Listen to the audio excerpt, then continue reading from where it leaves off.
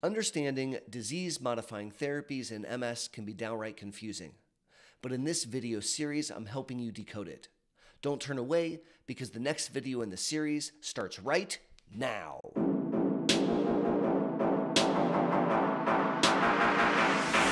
Hey! Howdy, and thanks for learning about MS with me, Aaron Boster. In this video series, I'm helping you decode MS disease modifying therapies, the medicines that we use to slow down multiple sclerosis, to prevent attacks, to slow disability, and prevent new brain and spinal cord damage. In the first video on this series, I focused on the route of administration, talking about medicines that are given by self injection, those that are given by pill, and those that are given intravenous. So if you missed that video, I'll throw a card up above so you can check it out. In this video, the second video in the series, we're going to focus our attention on the frequency of administration, how often you take the various medicines.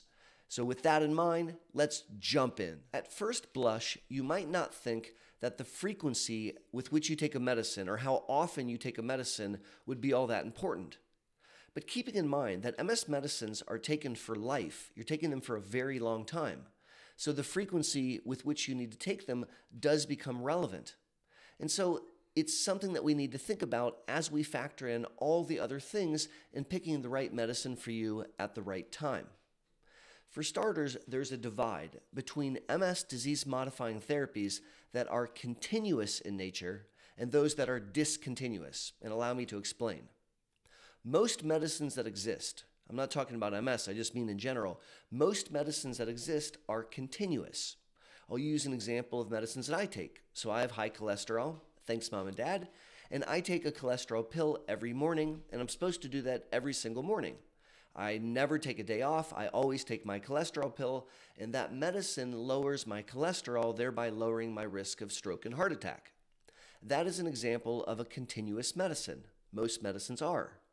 There are, however, some medicines, including some MS ones, that are discontinuous. You don't continue to take them for a long time. You only take them for a set period of time and then you're done. And that's kind of unusual. So, in this video, why don't we start by talking about the discontinuous medicines, and then in the second part, we'll do the continuous ones. Here we go. There are three total MS disease modifying therapies that are discontinuous. The first is mitoxantrone or novantrone. And this is a medicine that's really fallen out of favor. It's not used by MS neurologists anymore because of the safety profile. I remember back when we used to give it, it's an IV bag and it was a blue liquid. And so I remember patients asking about Smurf juice. And so Smurf juice or mitoxantrone was not it's not given continuously. It was given once a month for a couple months in a row and then we stopped. And this was done as an induction therapy mitoxantrone was rebooting the immune response in a really interesting manner. There are two medicines that are part of the MS armamentarium that we do still use in practice that are discontinuous. The first one is another IV medicine called alemtuzumab. Lemtrada is the trade name. So, Lemtrada is an infusion in the vein. It's given over a period of eight hours in a given day, and it's given for five days in a row in the first year. And I call that the first round. And then after those five days, you wait an entire year and you do no more therapy. And on the anniversary of the first time you do it, you repeat it for three days in a row, three eight hour days. So it's five days the first year, wait a year, then three days the second year, eight in total, and then you're done. That's right, you heard me, done. You don't take any more disease modifying therapy unless you have new disease activity. That's an example of a discontinuous medicine. The third discontinuous disease modifying therapy for multiple sclerosis is a pill. It's called Cladribine tablets or Mavenclad. And it's given as a pill that you take a, once a day, Monday, Tuesday, Wednesday, Thursday, Friday, so five days in a row on the first month, and then you're done. So I joke it's like a reverse birth control pill. Then on the second month, you repeat that process once. So a pill on Monday, Tuesday, Wednesday, Thursday, Friday, and then you're done for the first year. So 10 pills the first year. Then on the anniversary, you repeat that process once. Five pills the first month, five pills the second month. Then again, you're done treating unless you have new disease activity. Now, it's winter time and it's cold inside. Please give me a like and please subscribe. Now, obviously, these discontinuous medicines work differently than other continuous ones, but getting into the way they work, that's going to be covered in a different video. Instead, let's now turn our attention to continuous medicines, a more traditional way of thinking about taking meds. When considering continuous MS disease modifying therapies, there's really a spectrum from doing something once every single day to doing something only once every six months. And so let's start over here and we'll work our way over here. So, for starters, there are pills that can be taken twice daily. So, Tecfidera is a pill that you take once in the morning, once in the evening. Vumerity is two pills in the morning, two pills in the evening. And it's important that you take both because the medicine doesn't work if you only take it once a day.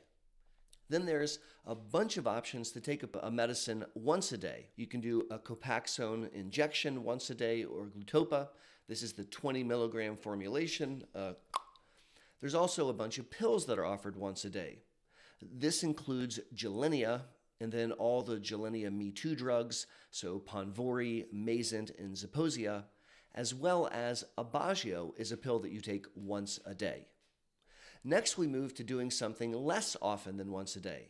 We then move to medicines that are not taken daily, so they're taken less frequently. And the first option is to do something three times a week. And this includes an injection of Rebif, or an injection of Betaseron, or an injection of Extavia. Next, we move to a once weekly treatment. And this is an intramuscular injection called Avonex, one of the oldest medicines on the market. Then there are medicines that are taken once every two weeks. This includes Plegridy. So, Plegridy is an injection under the skin that's taken only twice a month. Next, there are two medicines that are taken once monthly. This includes the subcutaneous injection of Kesimpta or the monthly infusion of Tysabri. There's also increasing use of Tysabri given every six weeks. So in my practice, I have some patients that get Tysabri every four weeks, and I have some other patients that get Tysabri every six weeks. And that decision uh, has a lot to do with mitigating safety. Safety will be discussed in another video on this series. Now, lastly, as we talk about continuous medicines for MS, there are ones that are given only every six months. And these include some of the IV B cell depleters, such as Ocrevus, ocrelizumab, and Rituxan, rituximab. Uh, Rituxan's off label in the United States, but they're both used once every six months. So for both of those, you get an infusion in the vein, then you come back six months later and you get it again. In this video series, I'm helping you decode the MS disease modifying therapies. In this specific video, we tackled the discussion on frequency of administration. Tune in to the next video in the series where I'll be discussing mechanism of action, really getting into the details of how these drugs work. Until that video or until my next monthly live stream, or even better yet, the next time I see you at the Boster Center for MS, this is Aaron Boster saying be safe and take care.